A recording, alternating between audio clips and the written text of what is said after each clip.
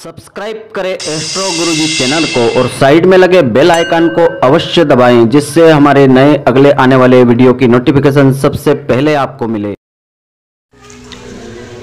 जय माता दी मित्रों, आप सभी का स्वागत है आपके अपने ही चैनल एस्ट्रो गुरुजी में। मित्रों, आज आपको हम बताने जा रहे हैं नवरात्रि के दूसरे दिन की व्रत कथा, माता ब्रह्मचारिणी की कथा एवं पूजा विधि आज आपको बताएँगे। तो दूसरा दिवस है सात अप्रैल 2019 रविवार के दिन है। इस दिन माता ब्रह्मचारिणी की पूजा अर्चना विधि पूर्वक यदि हम करते हैं और इनकी कथा को श्रद्धा पूर्वक सुनते हैं तो इससे अमोघ फलों की प्राप्ति हमको होती है। तो माता ब्रह्मचारिणी माँ दुर्गा का दूसरा स्वरूप है। इनकी उपासना नवरात्रि के दूसरे दिन की जाती है। ब्रह्म का अर्थ होता है तपस्या और चारिणी यानी आचरण करने वाली।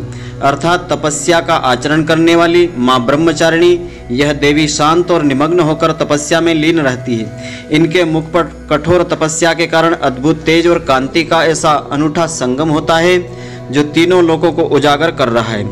तो देवी ब्रह्मचारिणी के दाहिने हाथ में अक्षमाला होती है, बाएँ हाथ में कमंडल होता है। देवी ब्रह्मचारिणी साक्षात ब्रह्म का स्वरूप है, अर्थात तपस्या का मूर्तिमान रूप। इस देवी के अन्य नाम हैं, जैसे तपस्चारिणी अपर्णा, उमा, और इस दिन साधक का जो मन है स्वादिष्ठान चक्र में स्थित होता है। यानी साधना करने वाले जो कुंडलिनी जागरण करते हैं, उनका मन स्वादिष्ठान चक्र में स्थित रहता है, जिससे वे माँ की विशेष कृपा दृष्टि प्राप्त कर लेते हैं। तो देवी ब्रह्मचारिणी माता पार्वती के जीवन काल का वह समय था जब वे भगवान शिव को अपने पति के रूप में पाने के लिए कठोर तपस्या कर रही थी। तपस्या के प्रथम चरण में उन्होंने केवल फलों का सेवन किया, फिर बिल्व पत्र और अंत में निराहार रख करके कई वर्षों तक तपस्या करके भगवान शिव को प्रसन्न किया था। देवी दुर्गा का यह दूसरा रूप भक्तों एवं सिद्धि करने वालों को अमोघ फलों की प्राप्ति करवाता है। देवी ब्रह्मचारिणी की उपासना से तप, त्याग, वैराग्य, सदाचार, संयम आदि की वृद्धि होती है।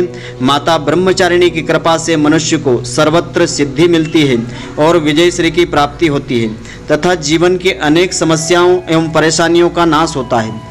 तो भगवती को नवरात्र के दूसरे दिन चीनी का भोग लगाना चाहिए अथवा मिठाई का भोग लगाना चाहिए और उसे ब्राह्मण को दान में देना चाहिए। तो ऐसी मान्यता है कि ऐसा करने से मनुष्य दीर्घ आयु होता है और सदाचार आदि की वृद्धि होती है।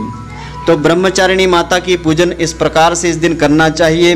देवी ब्रह्मचारिणी की पूजा का विधान इस प्रकार से है कि सबसे पहले आपने जिन देवी देवताओं एवं गणों और योगिनियों को कलश आदि में आमंत्रित किया है उनकी फूल अक्षत रोली चंदन से पूजा करें। उन्हें दूध, दही, शकर, घृत और मधु से स्नान कराएँ। वह देवी को जो कुछ भी प्रसाद अर्पित करें, उसमें से एक एक अंश उन्हें भी अर्पण करें। तो प्रसाद के पश्चात आचमन और फिर पान, सुपारी भेंट करके इनकी प्रदक्षिणा करें।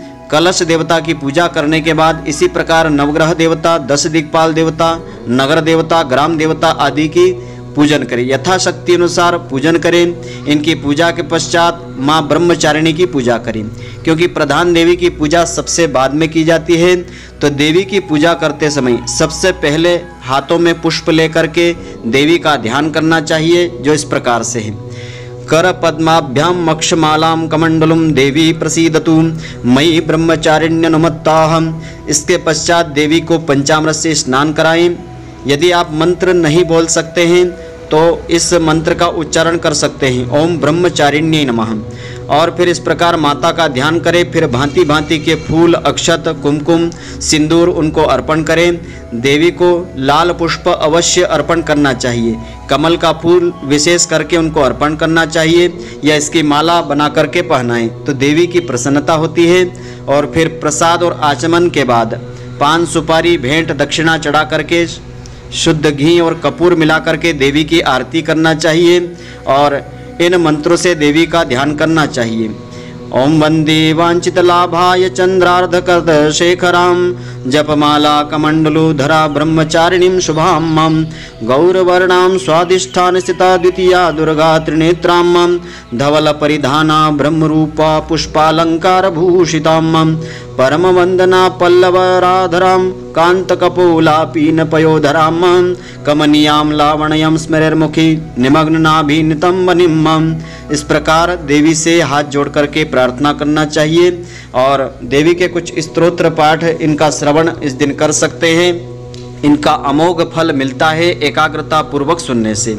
तो इस प्रकार से उनका स्तोत्र है, तपश्चारिणीं त्वयि तापत्रय निवारिणीं मम ब्रह्मरूपधरा ब्रह्मचारिणीं प्रणमाम्यहं मम, शंकर प्रिया त्वं हि भुक्ति मुक्ति प्रदायिनीं शांतिदा ज्ञानदा ब्रह्मचारिणी प्रणमाम्यहम महम और फिर देवी कवच को इसके बाद धारण करना चाहिए, इसे सुनना चाहिए श्रद्धा पूर्वक सुनने से इसका पूर्ण फल मिलता है।